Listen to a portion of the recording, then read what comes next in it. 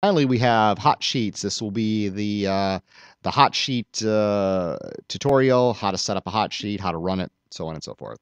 So in three, two, one. Hi, today's Matrix tip and trick is going to be how to set up your hot sheets in Matrix.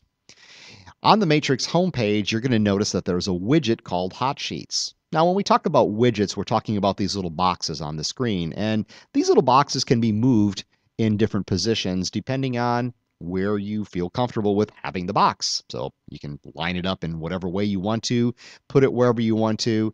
In today's example, I'm just going to kind of move the hot sheets front and center here uh, because maybe I use them a lot and I want them on the top of the page. Now, with hot sheets, you do have to customize them in Matrix. So in other words, if you're a hot sheet user, you have to tell Matrix where you want your hot sheets to be pulling from. In other words, you have to customize them. Now, with everything else in Matrix, if you take the time to just read the screen and not scan it, many times your answer is in front of you.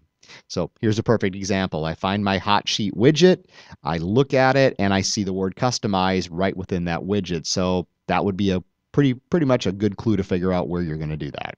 So I'm going to click on my customize option. And then I'm going to go to my hot sheet management section. Notice you've got all your property types here. Let's go with the residential hot sheet as a as the example today. So we're going to choose that particular property type. And then we're going to move over to the right and we're going to see the options for us here. Now, we can move it up or down, which doesn't have anything to do with customizing it. Adding has nothing to do with customizing it. Neither does renaming it, nor reset criteria, or delete. So by process of elimination, the only thing that really makes sense here is to edit the criteria, which means we're going to create the criteria our hot sheet is going to use. So choose the property type, go to edit criteria, and then you're presented with your search form, just like when you do a normal search in Matrix. You can fill in your search criteria based on you know whatever you want. If you want your Tulsa uh, search uh, uh, hot sheet to be looking for the Tulsa school district, you know, choose the Tulsa school district or whatever criteria you want. You can also do a map search if you prefer to have your hot sheet focus on areas that you have drawn out again versus a specific predefined geographic area. So you go through and you just basically tell the hot sheet where you want your hot sheets to be coming from. Again, in this case, we'll do the Tulsa School District. Maybe I just want to focus on houses or any other subtypes. And then across the top on the left, you're going to see the different statuses or change types that you want to see. So my goal is to look for new listings. I want to see properties that came back on the market, had price decreases, and maybe properties that have expired. Again, that's my choice. Your choice may be different than that. Now, keep in mind in Matrix, when you're choosing multiple options from a change type box or a sub property type or a school district, remember you do have to hold the control key or the command key down to make multiple options stick. And once again, if you forget that, you can always hover over the question mark and it will remind you of that option. So in my example here, uh, I chose the Tulsa School District, the change types, and the property subtype. There's really nothing more to do except go to the bottom of the page and look at your three options. Clear erases everything on the page. Don't want to do that. Cancel. Don't want to do that. So the only logical choice then is after you've made your selections is to simply save it. Once you save it, your hot sheet now has been customized and you get the, the flag or the banner across the top telling you that's been done. If desired, you can then go to another property type and go back to edit criteria and wash, rinse, and repeat as you need to.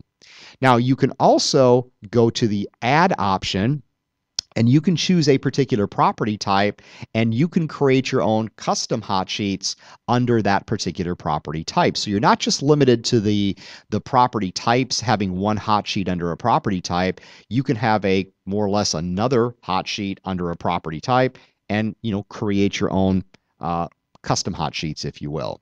So that's another option for you. So again, you're not just limited to the couple you see here. You can add more to that if you want to. The key here is after you have created your hot sheets, make sure you click the done option at the bottom of the screen. If you don't, it's not going to save the hot sheet. So now I've gone in and I've created my residential hot sheet. Then I can choose what time frame I want to go back in and look at the data from. And you can see you've got some uh, different options here, uh, anything from new only to seven days to custom. If you do use the custom option and click on your hot sheet property type that you're going to run, you can specify a particular date or you can actually specify a particular time range for today that you want to see that information from. So it really lets you get down into uh, the level of detail that you may need to see. I'm just going to go back and say I want to see the past 24 hours. So I choose that option, click on the property type that I just customized my hot sheet for, and there's my hot sheet showing me the 34 properties that are visible that ran in today's hot sheet. With a hot sheet, the big difference is there's two additional columns. There's a change type and a change info column.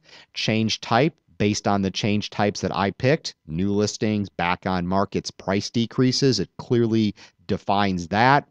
And then if there's information in that change type, like back on market went from pending to active, price decrease went from this price to that price. That all appears. And if I jump to the next page, uh, again, there's actually a price increase there, and then pending and expired. So now I'm just back to a normal search in Matrix. I then click on my MLS number, take a look at the property, decide if that's a property that I would like to utilize for my client or customer. And if it is, I select the ones that I want to use, go to my action bar down on the bottom. There's my email option. There's my print option. There's my driving directions.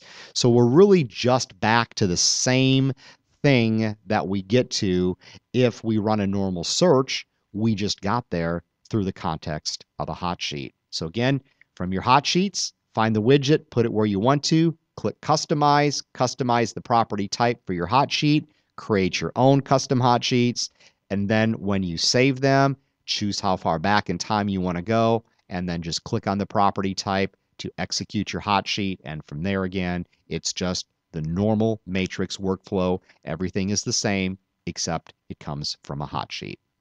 And that's today's matrix tip and trick on hot sheets.